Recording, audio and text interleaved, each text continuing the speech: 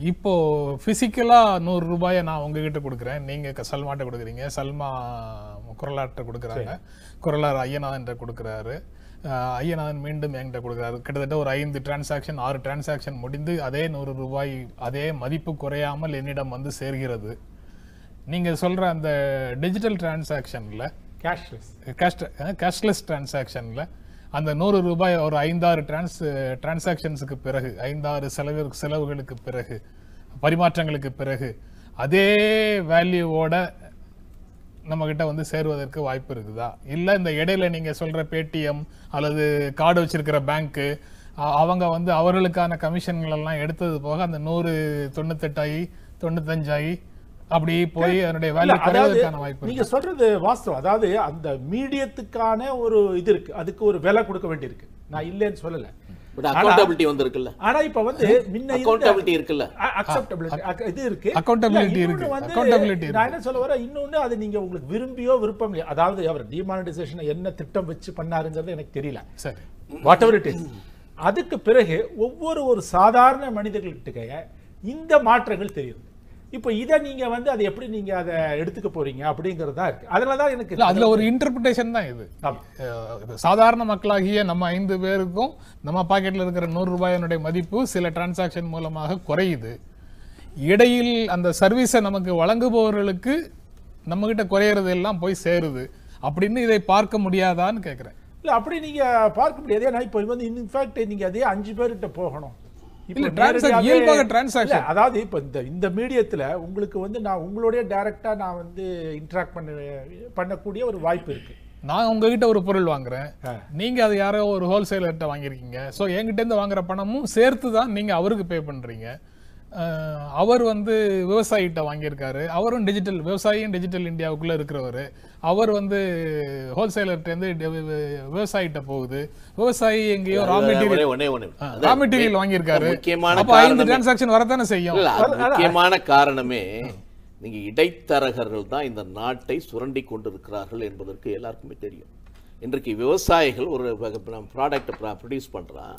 அந்த ப்ரொடியூஸ் வந்து ஒரு காமன் மேனுக்கு வருகிற பொழுது விவசாயி கொடுத்த விலை மட்டுமே அவனுக்கு வருகிறது என்று சொல்ல முடியாது.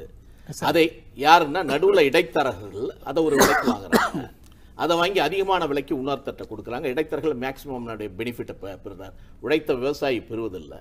இந்த பெனிஃபிட்டை வந்தோடனே அடுத்தவருக்கு போகிறது. அவர் வந்து அப்புறம் அவருடைய இன்வெஸ்ட்மெண்ட்டில் அதை வாங்கி ஸ்டாக் பண்ணுறாரு தென் அதன் பிறகு இன்னொருத்தருக்கு வருது. காமன் மேனுக்கு வருகிற பொழுது இப்பொழுது ஒரு ரூபாய்க்கு விவசாயியிடமிருந்து பெறப்பட்ட ஒரு பொருள் இப்பொழுது காமன் வர வரும்பொழுது பத்து ரூபாய்க்கு கொடுக்கப்படுகிறது அப்போ அந்த ஒன்பது ரூபாய் எங்கே போகிறது என்று சொன்னால் இடைத்தரகர்களுக்கும் நான் தான் போகுது. அதை மெயினாக முடிந்த அளவுக்கு குறைக்கப்படுகிற ஒரு டிரான்சாக்ஷனாகத்தான் டிஜிட்டல் டிரான்சாக்ஷன் நம்ம பார்க்க முடியும். அக்கௌண்டபிலிட்டி பார்க்க முடியும். டிஜிட்டல் டிரான்சாக்ஷன் அது குறைக்காது ஜிஎஸ்டி பார்க்க என்னன்னா அதனுடைய ரெஸ்பான்சிபிலிட்டி இல்ல அதை குறைக்க முடியாது என்று சொன்னாலும் இது யாரிடமிருந்து எப்படி போய் எங்கு வருகிறது என்பதை கண்டுபிடிக்க முடியாது. அவ்வளவு. இடைத்தரகர்களுக்குள்ளேயும் ரொக்கத்துக்கு பதிலா டிஜிட்டலா நடக்கும். அவ்வளவுதானே? நடக்கிற பொழுது ஈஸியாக நீங்க அதனாலதான் நீங்க ரெண்டு லட்சம் ஹாலோ கம்பெனிஸை கண்டுபிடிக்க முடிந்த காரணமே அதனால தான். நீங்க அந்த மாதிரியான ஒரு டிரான்சாக்ஷன் நடக்கிற பொழுது நீங்க ஜிஎஸ்டில என்ன நடக்குது? நீங்க இதுல இருந்து வெளியில வரும்பொழுது ப்ரொடக்ஷன் சென்டர்ல இருந்து வெளியே வருது பொருள். சோ அதன் பிறகு என்ன பண்றான்? எல்லா இடங்களிலும் corruption எல்லா இடத்துல வந்து கடைசியில வருது. சோ இப்போ இவ வியாபாரி என்ன பண்றான்னா பில்ல போட்டு ஆனா அந்த டேக்ஸை வந்து அவன் அரசாங்கத்துக்கு செலுத்தாம அதை அவன் எடுத்துக்கொண்டு மீதி பொருளை கொடுக்க ஆரம்பிச்சிட்டான். சோ அப்ப அந்த இது பெனிஃபிட் யாருக்கு போகுது? சாதாரணனுடைய மனிதனுடைய தலையில ஏற்றப்படுகிற அந்த வரி நிச்சயமாக அவனை சார்ந்த அரசுக்கு போகிறது இல்ல. அது தனிப்பட்ட மனிதர்களுக்கு தான் போகுது.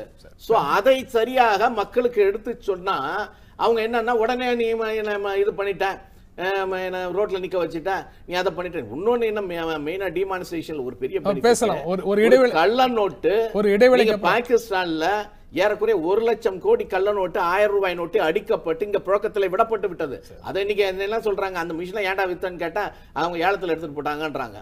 நீங்க அப்ப அந்த கள்ள நோட்டை இன்றைக்கு தடுப்பது இன்றைக்கு தீவிரவாதிகளுக்கு கொடுக்கப்பட்ட கள்ள நோட்டுகள் இன்று நிறுத்தப்பட்டிருக்கிறது. இன்றைக்கு போகஸ் கம்பெனிகளுடைய டிரான்சாக்ஷன் நிறுத்தப்பட்டிருக்கிறது. அதுக்கு அது பயன்பட்டிருக்குல்ல? உண்மை செய்திகளை உங்கள் கண்முன் கொண்டு வரும் காவிரி நியூஸின் யூடியூப் சேனலை சப்ஸ்கிரைப் செய்யுங்கள். நொடிக்கு நொடி நாட்டு நடப்புகளை தெரிந்து கொள்ள Kaveri news dot TV Facebook Instagram Twitter போன்ற சமூக வலைதள பக்கங்களோடு எப்போதும் இணைந்திருங்கள்.